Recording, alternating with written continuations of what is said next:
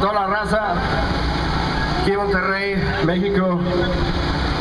Todos vivimos momentos difíciles en esta pinche tierra, ahora de nadie. Es para ustedes, con todo respeto, la jungla de acero.